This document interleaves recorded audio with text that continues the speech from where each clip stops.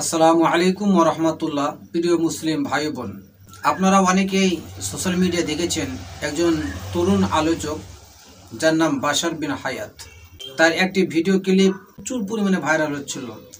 কসম আল্লাহর কসম আল্লাহর জমিনের উপরে আসমানের নিচে জমিনের উপরে এত বড় তাফসীর গ্রন্থ আমি কোনোদিন দেখি নাই যেটা আমি লিখতেছি। তার এই কথার জবাব দিয়েছেন বাংলাদেশের একজন বিজ্ঞ আলেমে দিন। শেখ ডক্টর মুসলিউদ্দিন সাহেব।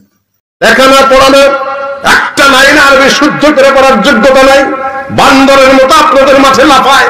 তাফসিরের একেবারে দুনিয়া উদ্দা তাফসির করে। আল্লাহর কসম আল্লাহর কসম আল্লাহর জমিনের উপরে আসমানের নিচে জমিনের উপরে এত বড় তাফসীর গ্রন্থ আমি কোনোদিন দেখি নাই যেটা আমি লিখতেছি। ধরতে পারতেছি না এগুলা ঠিক মতো। তাফসির খাওয়াই দিতাম ভালো লেখাও শুরু করো নাই দুনিয়াতেও নাই। পাবলিকে বলে মার হাবা তো মার হাবাটা দিলেন কি নিয়ে? শেখ ডক্টর মুসলিউদ্দিন সাহেব একজন বিজ্ঞ আলেম।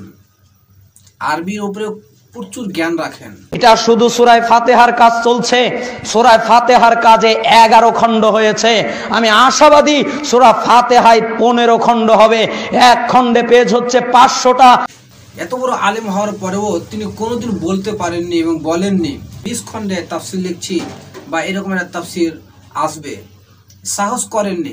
কি করে তুই বলতে পারো যে সুরা ফাতেহার তাফসির এত খণ্ড করেছি আমি। আড়াইশো ঘণ্টা আমি তাফসির করব। কারণ তিনি জানছেন যে এত বড় সম্ভব নয়। এটা আমার দ্বারা সম্ভব নয়। অথচ বাসার বিন হায়দের থেকে মুসলিউদ্দিন সাহেব অনেক বড় আলেম।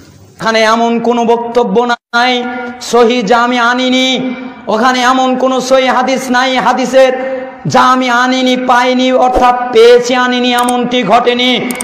আমি প্রথমে কোরআনের আয়াত দিয়েছি, এরপরে দিয়েছি কোরআনের অনুবাদ, আয়াতের অনুবাদ, সরল অনুবাদ, এরপরে দিয়েছি শব্দার্থে অনুবাদ, এরপরে দিয়েছি বাক্য বিশ্লেষণ, এরপরে দিয়েছি ব্যাখ্যামূলক অনুবাদ। কত সই হাদিস পাওয়া যায়, সমস্ত সই হাদিস সনদ সহ নিয়ে এসেছি। ফাজিল ফাজলামের তো একটা জায়গা আছে। এরপরে দিয়েছি আমার বুঝ এরকম এক একটা আয়াতে এরকম করতে করতে করতে সোরা ফাতেহায় পৃষ্ঠা সংখ্যা দাঁড়িয়েছে সাড়ে পাঁচ হাজার।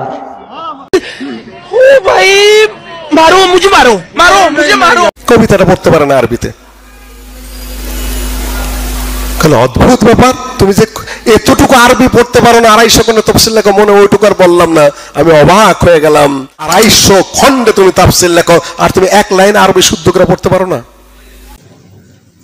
মুসলিউদ্দিন সাহেবের কাছে বাসারের কোনো তুলনাই নেই।